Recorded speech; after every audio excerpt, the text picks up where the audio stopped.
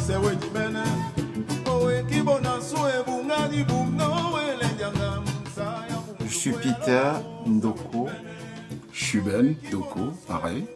Né au Cameroun dans un petit village qui s'appelle Tambel né dans le même village et en plus que nous sommes euh, jumeaux. Ça pourrait pas être autrement.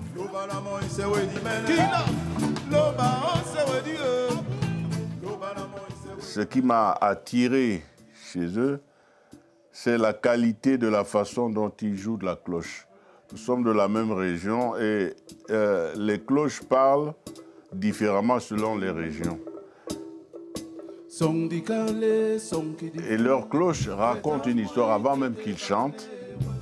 Tu es déjà dans l'histoire de la région dans laquelle nous appartenons. Donc ce sont des musiciens qui, tout en étant contemporains, sont profondément dans nos traditions. Et c'est important d'avoir sa tradition avec, surtout avec une seule cloche. Ça fait voyager.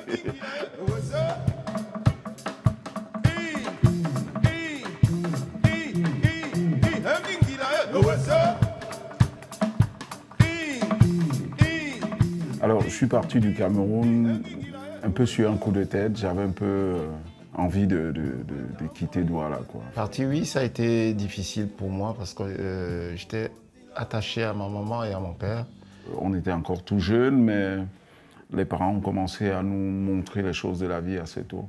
Et ma maman ne passait pas un seul jour sans qu'elle sache où je suis, où nous sommes, mon frère et moi. Et nous, on ne savait même pas si on allait chanter ou, pas.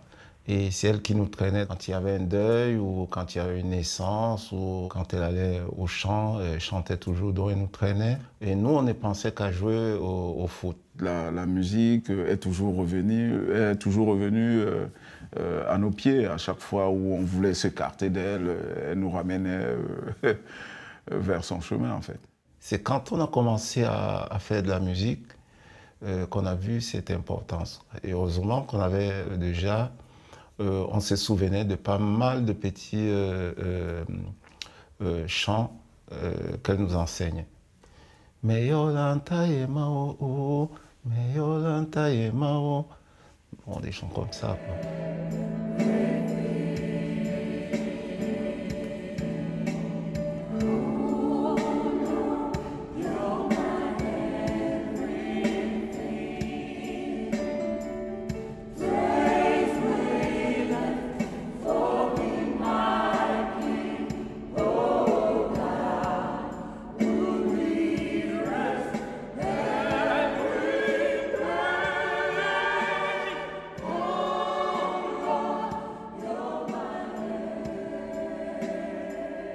Vous assistez à une répétition du Chœur Gospel de Paris.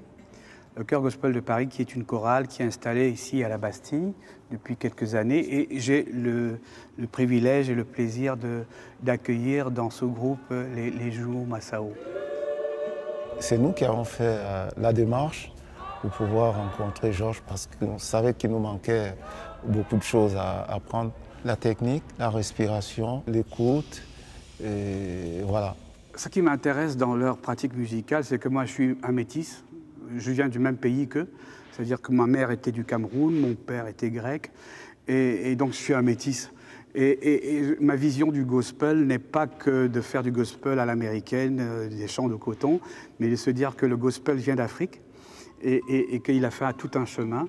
Et moi, à ma manière, je fais une sorte de relecture à l'envers euh, du gospel. Et eux, c'est des gens très ancrés, très enracinés dans leur culture, dans, leur tradition, sur le plan musical. Je chante l'une des langues euh, du Cameroun, Douala, qui est parlée dans le littoral du, du Cameroun.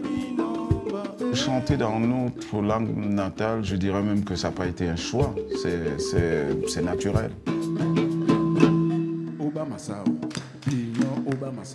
Et dans notre langue natale, on maîtrise bien les, les, phrases, on maîtrise l'histoire. Et on ne peut pas la transposer comme ça dans, dans, une autre langue. On peut se permettre, dans, parce qu'il y en a beaucoup de musique africaine, on peut se permettre dans certaines musiques populaires, mais les rythmes traditionnels ont quelque chose de, de, de particulier, c'est qu'elles sont déjà profondes. Et quand vous voulez les transmettre, il faut vraiment être habité par ça et, la chanter, les chanter dans, une, dans une autre langue que celle-là, ça, ça n'aura plus cette authenticité.